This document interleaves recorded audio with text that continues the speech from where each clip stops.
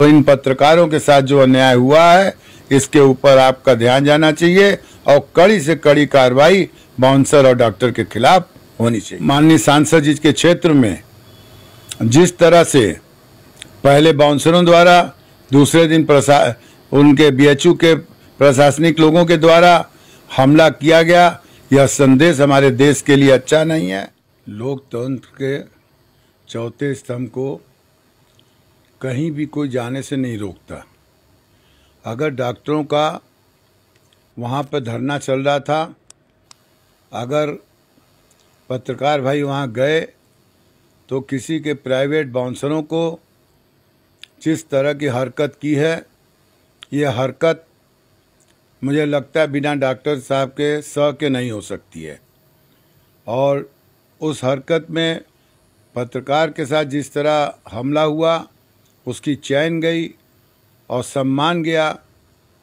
उस पर एफआईआर होने के बाद अभी तक कार्रवाई नहीं हुई।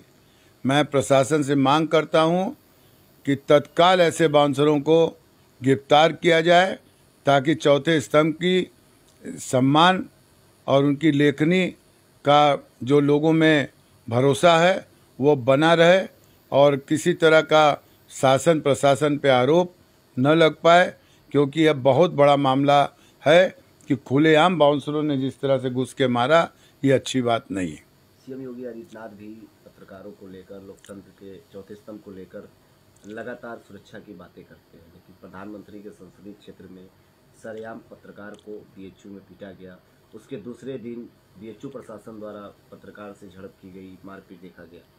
क्या लग रहा है किस तरफ़ संदेश जा रहा है ये? क्या कार्य करने की कोशिश हमारे देश के मुखिया माननीय योगीनाथ आदित्य जी, जो बाबा के नाम से प्रसिद्ध हैं और देश के इस समय ब्रांड एम्बेसडर हैं उनको ने साफ़ कहा हुआ है कि गरीबों को और पत्रकार बंधुओं के साथ किसी भी तरह का कोई अन्याय नहीं होना चाहिए।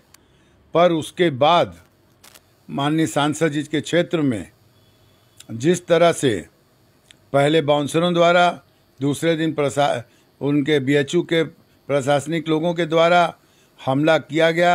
यह संदेश हमारे देश के लिए अच्छा नहीं है प्रशासन के लिए अच्छा नहीं है। इस पर शासन की नज़र होनी चाहिए और सख्त से सख्त कार्रवाई होनी चाहिए ताकि भविष्य में कोई भी इस तरह की हरकत पत्रकार भाइयों के साथ न कर सके। मुख्यमंत्री जी से क्या गुहार लगाना चाहेंगे? क्या कहना चाहिए मुख्यमंत्री जी से हम लोगों का यही गुहार है कि आप सबको सुरक्षा देते हैं सबका ध्यान रखते हैं। आपके रहते कोई अन्याय नहीं होगा ना हुआ है तो इन पत्रकारों के साथ जो अन्याय हुआ है इसके ऊपर आपका ध्यान जाना चाहिए और कड़ी से कड़ी कार्रवाई बाउंसर और डॉक्टर के खिलाफ होनी चाहिए। पीएचयू के कुलपति हो या जो भी तमाम लोग हैं वो भी अभी इस पर मौन है अपनी जवाबदेही नहीं दे पा रहे हैं। उसको लेकर आपका क्या कहना रहेगा? देखिए प्रशासन को भी जवाब देना चाहिए बीएचयू को भी जवाब देना चाहिए, कुलपति साहब को भी देना चाहिए, सबको जवाब देना चाहिए। मौन होने से किसी चीज़ का हल नहीं होता है। वो फिर चिंगारी सुलगती रहती है और पत्रकारों के मन में एक पीड़ा रह जाएगी। तो इसलिए कुलपति साहब से भी हम अनुरोध करते हैं कि गलत हुआ है तो उसका विरोध करें और उस पर कार्रवाई में इनका साथ दें। मुझे कहने में कोई गुरेज नहीं है। कोविड के समय जिस तरह से सरकार ने और प्रशासन ने सा, साथ दिया।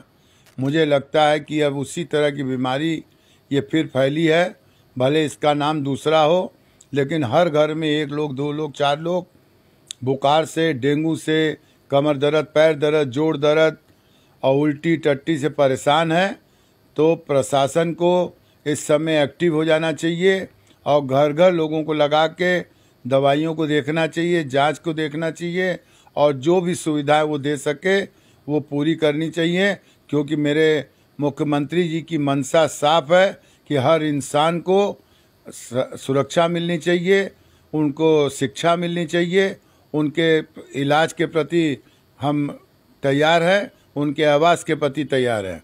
तो मुख्यमंत्री जी की मंशा के अनुरूप बनारस में अभी ये काम चालू नहीं हुआ है तो इसको युद्ध स्तर से चलाया जाए ताकि लोगों की मौत ना हो, लोग परेशान ना हो, लोग अपने रोजी रोटी से त्रस्त ना हो।